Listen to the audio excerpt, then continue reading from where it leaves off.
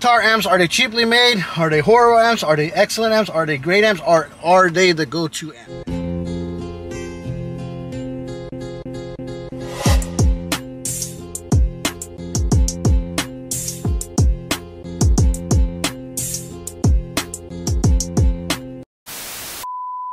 One of the biggest questions in car audio right now, man, is Taramps a good amp? Do they produce good power? Are they cheaply made? Today, I'm gonna go ahead and give you my personal review on them. Uh, I've been running Taramps for almost uh, a year now. You know, we started off with just one 3000 in my other truck. Um, but you know, if you guys been watching the videos, you know we probably got 95% of amps in my Silverado build, all Tar amps. And I'm gonna go ahead and give you my personal review. Stick around, it's gonna be a great video, good information from my point of view. Maybe this will help you out, you know, picking an amp that best suits you. Um, everybody has their own preference on what they like, um, what their budget is and everything. And I'm gonna go ahead and give you my honest opinion on these guys right now. But man, we're trying to reach this 5K subscribers by the end of the year. And listen, I got a treat for you guys. If we manage to get to 5K subscribers by the last day before January 1st, me and my friend Nino, he has a Chevy Tahoe. Uh, he has four Machete Deaf Bonce subs on 8K tar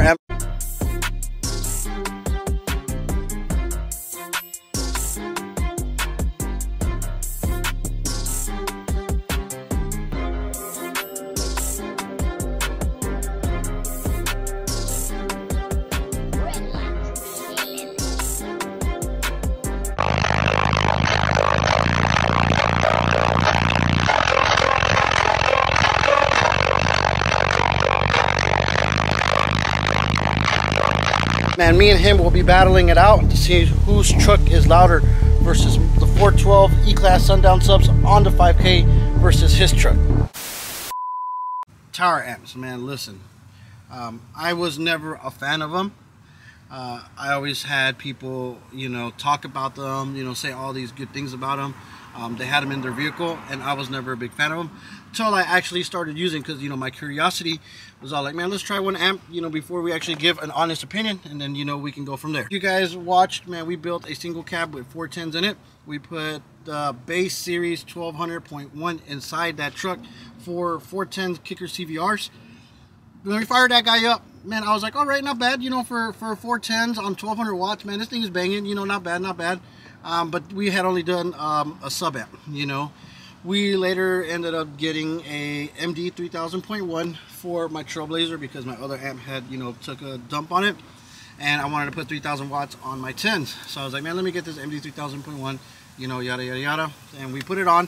Uh, sounded pretty good. It actually woke the mids up. It gave me the strong mid sound that, you know, I was looking for, which was really, really, really good.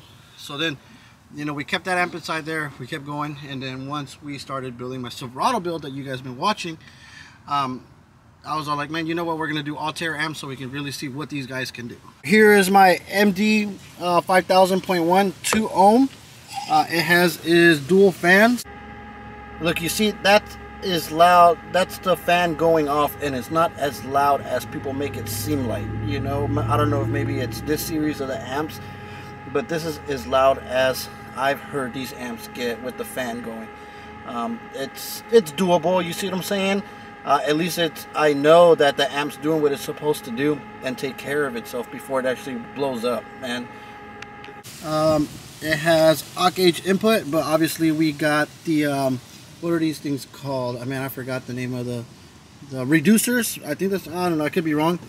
Uh, so I actually got uh, two gauge going ran into this guy uh, very good. It fits right in there. It looks like it was designed for one day to have the reducers inside there.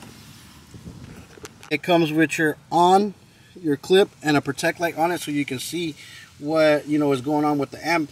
And as well, they do come with clip light indicators that you can put in the front of your car so you can really keep an eye on them so you know how high to turn your gains up and down on your sub knobs or you know EQ knobs, whatever you have going on.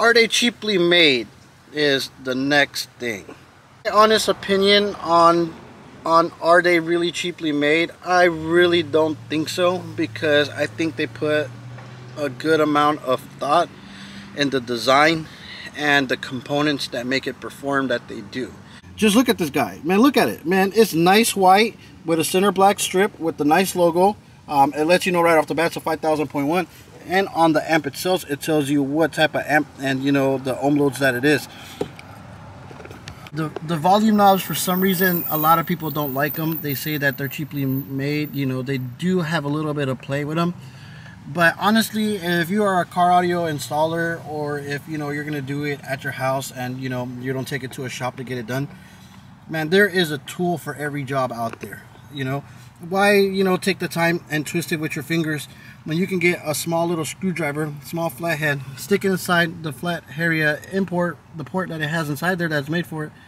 and man use that screwdriver to go ahead and adjust your amp. Don't use your fingers you'll probably damage it more uh, or more likely to ruin it instead of just getting yourself a small little flathead screwdriver stick it in the input on the amp and man let, let the screwdriver do the adjusting for you you know what I'm saying that's what the the tools are made for it's for you to handle and do things properly. Now let's get into pricing. If you walk into your local car audio shop or if you're online shopping for, you know, an amp that you need for your car, um, you know, you just type in car amplifiers. All these amps will come in here and, you know, amps can get pretty pricey. You see what I'm saying? So, you know, when you go in to start looking for an amp, some people may have a budget, some people may not have a budget. Maybe someone's trying to get a good bang for their buck. Me whenever I went to start getting these amps for my truck I had uh, I, I already knew that I want to get a tower amp for the truck. Now I needed to find which one best fit you know what I had going on in my truck subwise. So I had the choice whether to do the MD 5000.1 the smart bass 5k or just the regular Bass series 5k so I did a little bit of research watched YouTube videos of course um, of all these amps on the dynos and then I watched what each amp produced on that dyno and how much power and then I chose you know the amp that I felt that was going to be best for my you know subwoofer setup. I could have went with the smart 5k or the base 5k but it was going to actually produce way too much power you know for the subs that I wanted to put in my truck which is the E-Class series Sundowns. But when I saw the dyno on the MD series uh, you know it produced the power that I was looking for. Um, and you know it was in the range that you know I was trying to you know stay in with the amp although I really didn't have a budget. If I would have had to pick the smart 5k I would have done it. But I just felt that the the MD 5000.1 was definitely for me so that's why I went ahead and chose it and the price was great I think when I bought it it was probably like four something uh, 397 somewhere in that area but to buy a 5000 watt amp in the $400 range, man, that's like fantastic. I am a big fan of having matching amps. And when I went to go look for amps for my truck so I could figure out what I wanted to buy, there was pretty much no other company that gave me the ohm loads that I was looking for, um, power range, and the price I was looking for that all was the same brand. I'd either had to buy one brand or get another brand and put them together because of power, ohm loads, and everything. But man, Taramps definitely gives you the options to get different ohm loads. Uh, they got good power for you know choices what you want to do. Um, they all match. They're all you know the same thing. So I feel like that's a big bonus with the Taramps brand. You know what I'm saying? That they give you pretty much. If you want a sub amp, man, we got the the mids and high amp that's gonna go with it. Or if you want um, uh, mid amp we got the other amp that goes good for it so pretty much they give you a good awesome you know choices they give you in order to pick your amp so that's really good on their part i really like that about them there's probably other amp companies that have for 5000 watts and you're talking about over you know seven eight hundred dollars you see what i'm saying but for the price that i found this md amp you know i was sold you know i got to get it it was a good looking amp um, I knew other people that had um, Taramps for their bass and they sounded phenomenal. So I was like, man, I'm just going to go get ahead and give this guy a shot and see what it does. And listen, I was very, very impressed. And which will, towards the end of the video, man, I'm going to give you all a, another bass demo. Uh, man, I never get, you know, tired of hearing the bass in my truck, man. It is amazing. I love it. Um, the setup's good. The amp does, you know, it what it's supposed to do. And you guys are going to see it right now it's a little bit early so hopefully the neighbors don't get mad but man you know oh well you know they'll, they'll learn to love it you can call them cheap uh, you know you can love them man, for the price that these Taramps are, man, you can never go wrong whatsoever. You know what I'm saying? Respect your sound system and it will last you a good amount of time. People that don't respect their sound system, yeah, it's just a matter of time before it breaks on you. I definitely abuse my sound system, but I respect it at the same time. You know what I'm saying? There's a time and a place for everything. Just because I have all the power and a very loud sound system doesn't mean I have to ride with it blaring everywhere I go. I mean, I do have my moments where it's at very long, low volume, or I don't even drive the truck at all. You know what I'm saying? But when it's time to get down, listen, these Taramps, they do their job. You see what I'm saying? They they put in that work. You know what I'm saying? They, you know, as funny as it sounds, they've seen all the hard work and sleepless nights I put into my build. So they're to be like, all right, man, we're to be good to this guy. You know what I'm saying? We're, we're to jam today, you know? And they've yet to, you know, let me down. My truck, my truck, with all the abuse and the eight hours that I had – playing and one day when we went to the Florida Classics the eight hours straight I had this thing beaten. My truck only went into protect one time.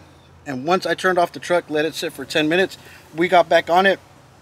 I just backed down the sub gain a little bit and it never went into protect. And listen these amps stayed cool. I cannot sit here and tell you that these amps got super hot super hot.